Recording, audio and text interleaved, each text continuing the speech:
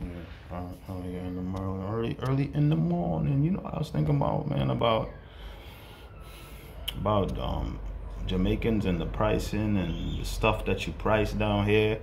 I know that the things are bad and and it's bad for you, but um, every time I say something to somebody about prices or people find out about prices, especially in my store, they want to say that's too expensive, right?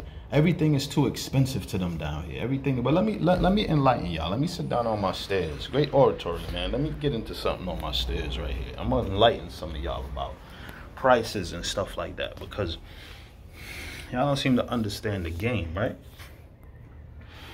You see Jamaican people mostly, because I live here. I'm not talking to nobody else. I don't care where you're from or whoever does it or it's the same. I'm talking about what I'm experiencing.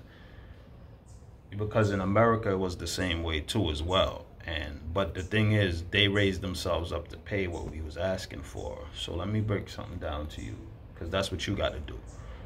Don't say that something is expensive.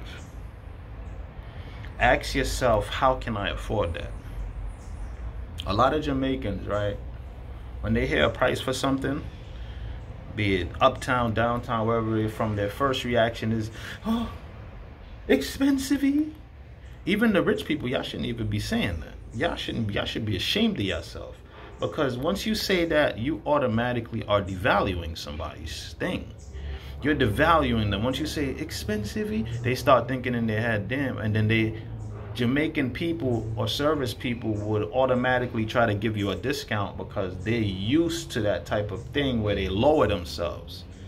You know, stop, don't lower yourself for none of these people because eh, they got to ask themselves, how can I afford that? They shouldn't be telling you that's expensive. They should say to themselves, how can I afford that and uplift themselves to affording it. If you can't afford it, don't say it's expensive try to figure out a way because when you figure out a way how to afford something you're actually uplifting yourself and you're uplifting the service provider you can't devalue them and then stay at your lower state. That's what keeps the country at a low level.